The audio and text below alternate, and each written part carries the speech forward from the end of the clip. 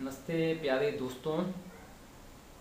आज हम एक बहुत ही अहम विषय को आपके सामने लेके आए हैं कि मांस जो है, मनुष्य का भोजन नहीं है।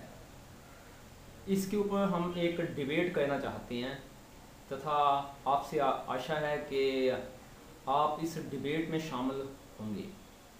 मैं आपको यह बताना चाहता हूँ कि जो मांस है, वह मनुष्य का भोजन नहीं है। देखिए, हम भोजन किसको कहते हैं? भोजन उसको कहा जाता है जिससे हमें शक्ति मिलती है, जिससे हम एक्टिव हो जाते हैं, जिसमें हमें लगता है कि हमें पावर आ गई है। या जिससे हम ये सोचते हैं कि इसके बिना हम जी नहीं सकते तो उसको हम भोजन कहते हैं।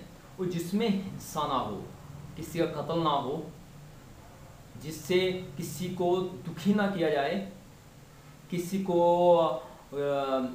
एक्सप्लोरेट ना किया जाए, जिसका शोषण ना हो किसी का, ईमानदारी से जो कमाई होती है, उसको हम भोजन कहते हैं। जो बेईमानी से, ठगी से कमाया हुआ धन है, उससे कोई चीज़ लेते हैं, वो भोजन नहीं है। तो भोजन में दो चीज़ें होना आवश्यक है। नंबर एक के इससे हमें शक्ति प्राप्त होती है। नंबर दो, इसमें किसी प्रकार की हिंसा नहीं है। हिंसा का सीधा ही मतलब ये है कि किसी का कत्ल ना हो। सिर्फ़ किसी का कत्ल करने वाला ही उसका हिस्सेदार नहीं है उस हिंसा में। मान लो एक व्यक्ति किसी को कत्ल करता है तो वो जिम्मेवार नहीं है। ऐसे ही किसी जानवर को, गाय, भैंस, बकरी, मच्छी को कोई काटता है, वो जिम्मेवार नहीं है। बल्कि वो सभी जिम्मेवार हैं, जैसे जो इसकी, इसके लिए धन देता है, इसकी एक्सेप्टेंस देता है तो कि तुम इसको काट लो, वो भी हिंसा करता है। जो इसको काटता है, इसको मारता है जानवर को, वो भी हिंसा करता है। जो उसको खरीदता है, वो हिंसा करता है। जो उसको बेचता है, वो हिंसा करता है। जो उसको बनाता है, वो भी हिंसा करता है। जो उसको खाता है, वो भी हिंसा करता है। तो हिंसा जिस भोजन में है, वो आपको शक्ति नहीं देगी। ये स्पष्ट है, जिसमें हिंसा हुई, वो आपकी बुद्धि को खराब करेगी वो आपको सेहतमंद नहीं रहने देगी। इस किसी जानवर को आप देखो तो सही कसाईयों के पास कितना उनके साथ अत्याचार होता है, कितने राक्षसी लोग उनको काटते हैं। आपका अपना बच्चा हो, उसको काटो तो आपको तकलीफ़ नहीं होगी?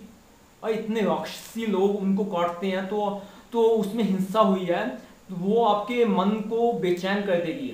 जब किसी जानवर को काटा जाता है तो उसकी जो, उसके, उसको बचाने वाले जो हिस्से होते हैं, उसमें जहर उत्पन्न होता है। तो वो जहर आप में भी जाएगा। तो इससे क्या है कि ये हमें सेहतमंद नहीं रहने देगा। दूसरा, हमारे अंदर मशीन भी नहीं है। अरे, जितने भी मांसाहारी जानवर हैं, उनके अंदर एक मशीन बनी हुई है, उसको कंज्यूम करने के लिए डाइजेस्ट करने के लिए। हमारे अंदर मशीन ही नहीं है। हमारे अंदर सिर्फ़ शाकाहारी भोजन को कंज्यूम करने की मशीन है। अरे, फिर हम उस मांस को क्यों खाएँ? अरे, शाकाहारी हार की तरफ़ आइए। किसी तरह की कोई हिंसा नहीं है। एक दरखत हुआ, उसको, उसमें से फल आए, फल नीचे गिरे, उसको आपने खा लिया, उसमें किस प्रकार की हिंसा है? दालें जब पक गई, गेहूँ का अनाज पक गया, उसके बाद परमात्मा ने आपको दिया, किसी की हिंसा नहीं हुई, किसी कत्ल नहीं हुआ, किसी में से खून नहीं निकला, उसको आपने खाया, ईमानदारी से कमाए हुए धन से खरीद कर उसमें किसी प्रकार की हिंसा नहीं, वो आपको शक्ति देगा, क्योंकि शाकाहारी हम मूल में हैं, मांसाहारी नहीं है, हम दया करना जानते हैं। आप अपने बच्चों को क्या संदेश देते हो? भैया, उसको मत मारो। अरे, जब मीट खाओगे तो वो उसमें जो क्वालिटी है, वो खत्म होती जाएगी। तो हमने ऐसा नहीं करना, हमने क्या बनना शाकाहारी। शाकाहार मनुष्य का भोजन है, मांसाहार मनुष्य का भोजन नहीं है। तो शाकाहार की तरफ़ आप आइए। देखो, इससे क्या होगा, आपके बच्चे दयावान बनेंगे। जो शाकाहारी होते हैं, वो दयावान है। मांसाहारी है, वो क्योंकि उनको जो भोजन मिला, उनको सपोर्ट मिली, हिंसा में मिली तो वो आगे उसको डिस्ट्रीब्यूट करेंगे। सप्लाई एंड डिमांड जैसे सप्लाई हमने की, वैसी उसकी डिमांड होगी। तो हमने जो मांस की सप्लाई एंड डिमांड को बंद कर देना है। आप दूध पीजिए, गाय का काम दूध देना है। हमने उसका कत्ल नहीं करना, गाय का दूध पीना है हमने। ऐसे ही हरेक जो इस दुनिया में आया है, उसका एक काम है। मच्छी का जो काम है, वो वाटर का पोल्यूशन को साफ़ करना है। तो उसको वो काम करने दीजिए। ऐसे ही जितने जानवर हैं, उनसे आप दया कीजिए, उनसे प्रेम कीजिए, उनसे लव कीजिए, तभी हम जी सकते हैं। जियो जीने की जो पद्धति है, वो तो भारत में है। आप अपनी शक्ति को मज़बूत कीजिए। शक्ति आपके संकल्प में है, मास में नहीं है।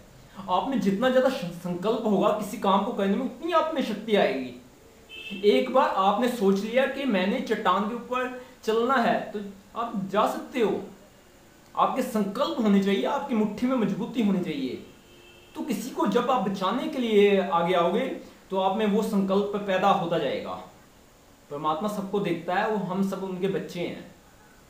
तो हमें इन जानवरों को, जो किसी किसी प्रकार के कातिल नहीं है, तथा इनके ऊपर दया करनी चाहिए। ये तब कर सकते हैं जब हम मांस खाना, त्याग के शाकाहार भोजन खाएँगे। प्योर वेजिटेरियन, ना हम मांस खाएँगे, ना अंडे खाएँगे, ना मच्छी खाएँगे। हम दूध पियेंगे फल, फ्रूट खाएँगे और सब्ज़ियाँ खाएँगे। तो हम एक अच्छा संसार बना सकते हैं। इकोसिस्टम को अच्छा बना सकते हैं। ओके थैंक यू धन्यवाद आपका।